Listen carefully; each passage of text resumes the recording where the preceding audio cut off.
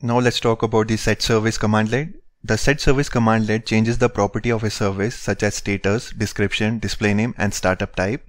The set service commandlet can start, stop, suspend or pause a service and to identify a service either enter its service name or submit a service object.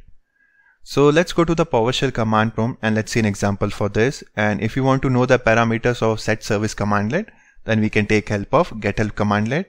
So mention get help and write set service hit enter. And here we can see set service commandlet supports name parameter computer name parameter display name parameter and so on.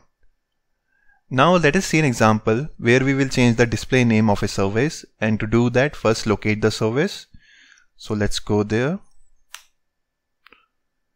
And let's use the phone service here we can see the service name is phone SVC. So let's copy that and the display name is phone service and we will change the display name to something else.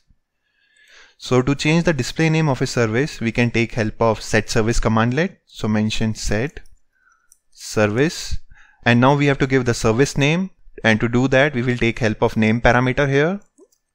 Let's use the name parameter and the service name is phone SVC and we want to change the display name for this service. For that we will take help of display name parameter.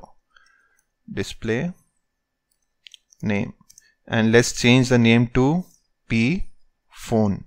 Or let's say p mobile. Okay? Hit enter. And now the display name has been changed for phone svc so we can come here. Right now you can see phone service. Let's refresh this. And this will be changed to p mobile double click and here we can verify that phone service display name has been changed to P Mobile. so let's revert it back to phone service. Phone service. Because there is a space between phone and service that's why I'm putting the whole string in double quotes. Hit enter. And now if you see the p mobile will be changed to phone service. So let's refresh this and here we can see it has been changed to phone service